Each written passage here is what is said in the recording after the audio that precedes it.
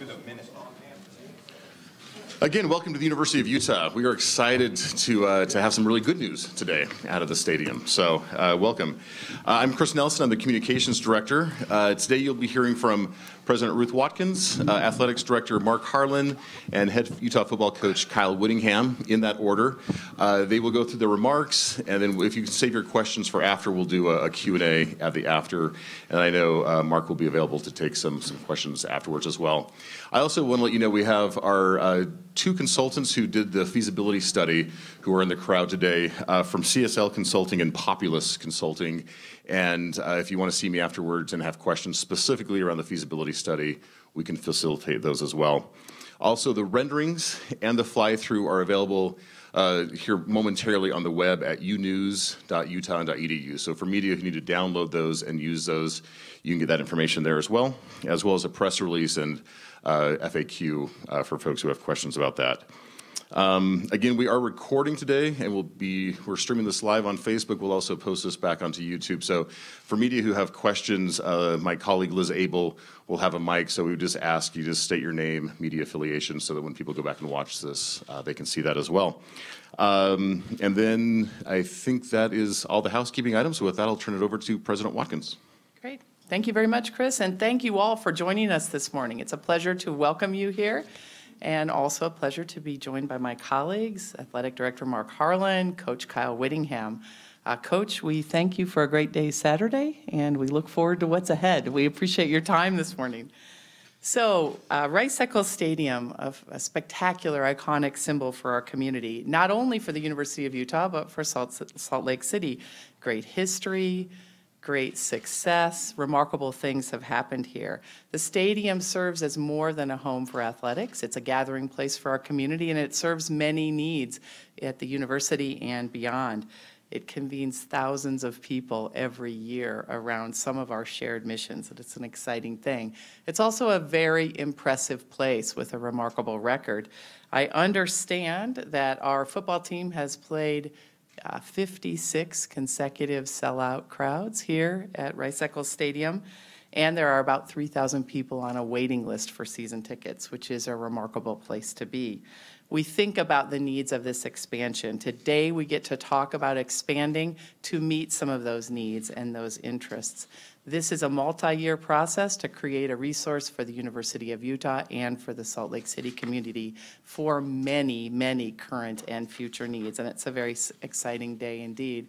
I want to express my confidence in Athletic Director Mark Harlan and his team for the work that they are doing. I know that they will uh, work together and collectively with the community, with our campus, to create a facility that will be exciting and will meet our needs for a long time to come. So, Mark, I turn to you.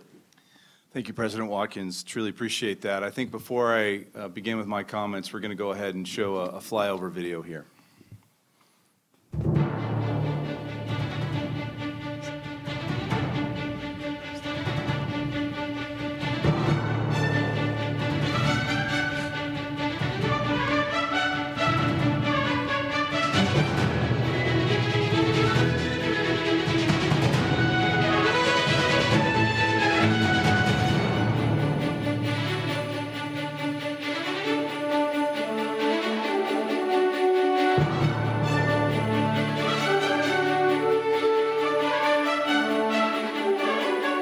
It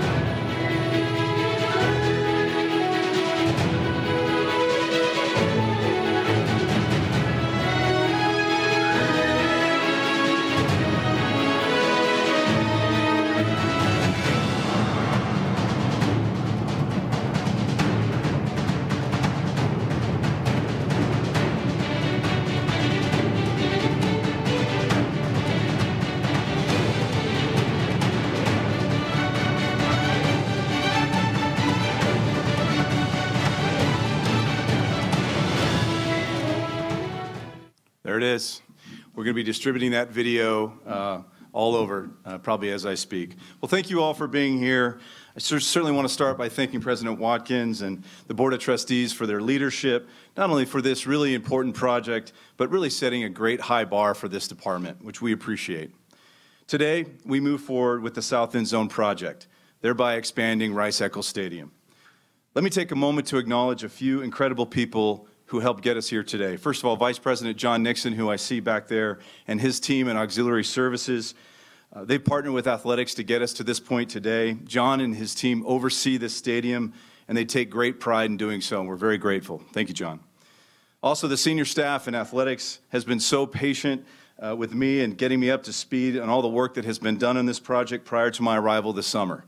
Of course, the gentleman to my left and the incredible teams and young men that he's coached in the many years he's been here allow us to have the kind of momentum to allow us to do this project. Thank you, Whit. Appreciate it.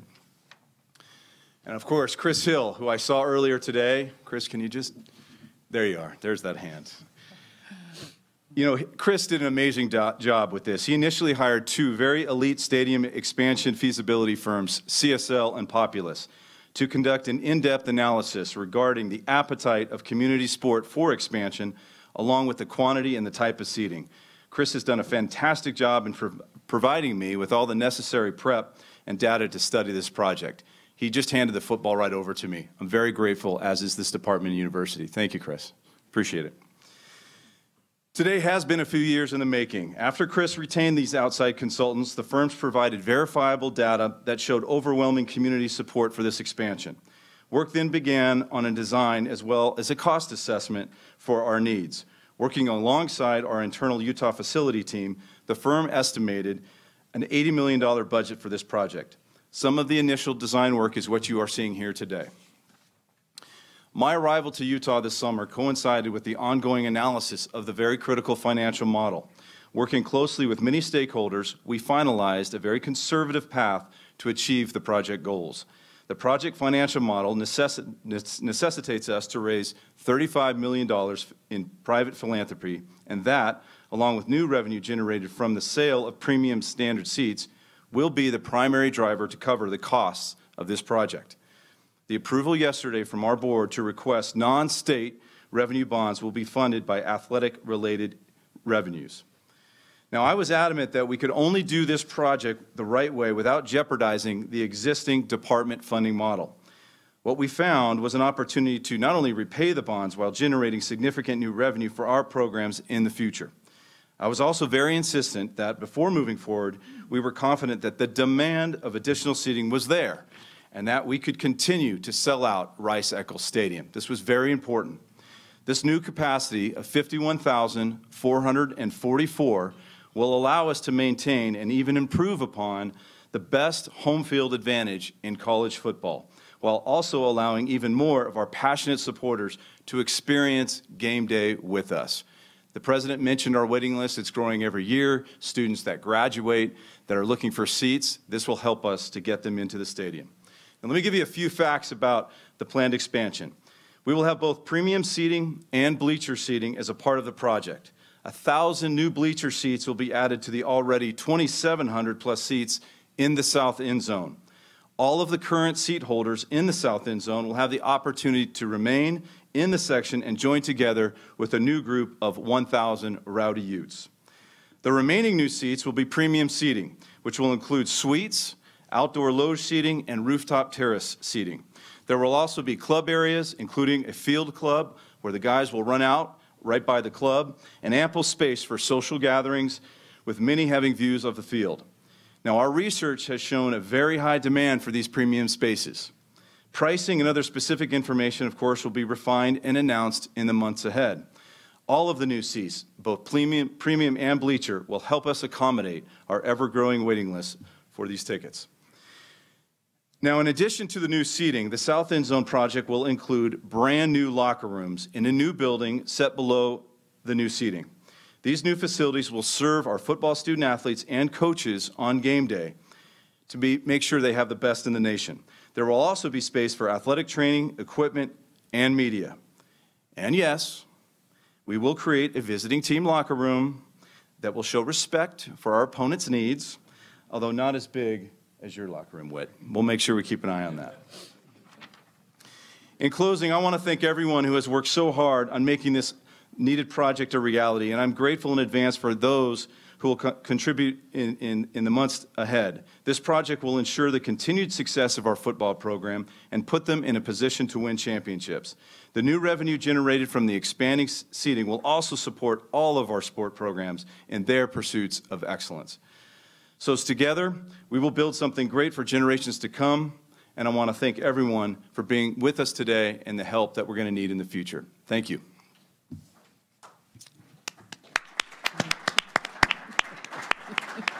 Okay, well, first of all, I want to echo the, uh, the thanks and, um, you know, thank President Watkins, uh, Mark Harlan, uh, Dr. Chris Hill for getting the ball rolling on this project, and especially the donors. Many of, many of you were here today, and so uh, just making it a reality is, is huge for our program. Obviously, the football program is very excited about this project.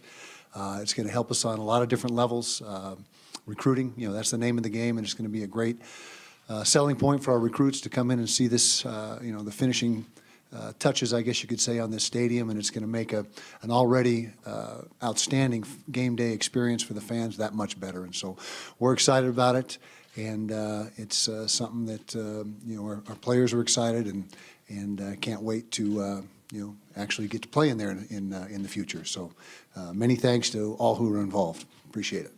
Thank you, Whit. Excellent. Thank you. So questions from media? Got a- time for a few here? Anyone? All right. Uh, Ryan Miller from KSL.com. Uh, Mark, how did you guys reach the 51,000 le- mark, and why, why did you guys feel comfortable with that? Well, this has been a data-driven um, decision-making process all along. CSL, who's, who Jay is here today, and you guys can speak to him. He surveyed their company, who I believe is the best in, in the country, if not the world, in these kind of projects, surveyed a broad base of our constituent base, existing holders, folks that used to have tickets, single-game buyers, alumni, et cetera. And I think at the end of the day, that, that, that sweet spot number between 50 and 54 became real clear right in there, along with a real desire for the kind of products that I mentioned earlier. But this was not us sitting around on, on a grease board, Dr. Hill and I, you know, in our transition meetings. This was all driven off of data and uh, using one of the best firms in the country to do so.